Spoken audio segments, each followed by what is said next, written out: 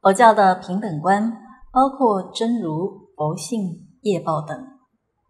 我们都知道佛所悟的平等原理，为了是从因、从果、从各方面的看法，都是有真如、佛性、业报究竟的四种。前两种真如与佛性是告诉我们人生人权本来平等，人类应没有阶级的观念。对了，咱佛法吼。会当讲甲大类改分做两份啊，就是体部分甲用的部分。体就是咱人人的佛性拢平等啊，咱拢总有咱家己的佛性。佛性本来具足无量的功德，无量的迄个能力啊，能做良人，一切拢具足啊。啊，毋过最主要是讲要。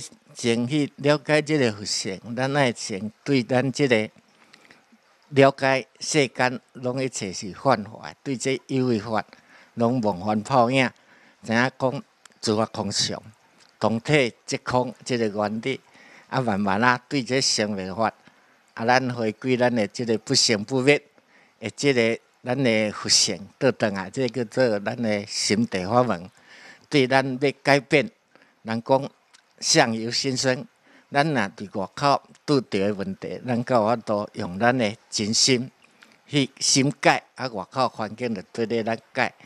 这一次道静法师开示说，业力与究竟是为了告诉我们理性的平等，也是要靠人事上努力。究竟平等是说佛果位的平等，前面讲的佛平等是个人在因地上距离讲，如果只是距离的佛性。没有四修行的功行，众生是众生，诸佛是诸佛，不能勉强凑合来平等，必须经过一番修行的功夫，了生死的解脱，到达佛的果位，才是真正的究竟平等。